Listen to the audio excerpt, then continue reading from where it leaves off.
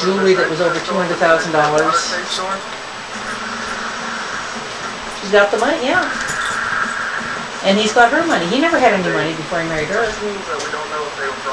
I, I, yeah, I know, it's, it's, this is not a good year, but I, I've got to go with, I've gotta the go with the- which is more or less air conditioned. yeah, we, we can't have any more McBush. seven hours total to work their way through We just can't.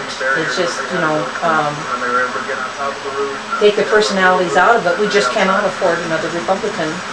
Oh, and then how, another thing McCain says is how he's, uh, wants to get the lobbyists out of Washington. All of his campaign advisors are lobbyists. Cops caught two. Yeah. That, next day. Yeah, she has made some comments that were probably less than, um, advised.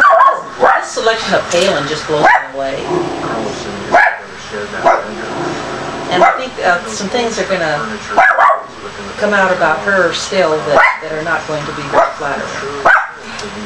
Well, the only reason they announced, she announced that her daughter was pregnant was that, uh, they were saying, tabloids were saying that her baby actually was her daughter's baby.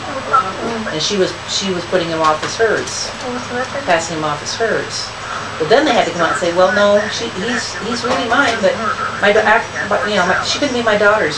She's five months pregnant. Fifty-six years in in prison, and uh, now that. And this is a woman who has been against, totally against sex education, is abstinence only edu- sex education in Alaska. Out of America, that we will find them. You know, it's Thanks, we hope they, they catch them and they stay in there. One of those do as I say, not as I do type things. And she, I guess she's admitted to having an affair. That I haven't heard too much about. Where, when or where or who or how, I'm not sure. But- Oh, boy, did he ever. Yep, How can you watch yeah, he lost every bit of credibility and sympathy that he had in one fell swoop. He does, he said, well, his, his thing, well, uh, my, her, my wife's cancer was in remission when I did it. It wasn't while she was fighting it. She was in remission. Most one of his Apologies. Wow, yeah. Well, what about McCain? You know, he's in, in, uh, well, he's in a POW. His wife, who was a beauty queen, was in a car accident and was badly disfigured. So as soon as he gets back, he starts having an affair with, uh, Cindy and divorces her.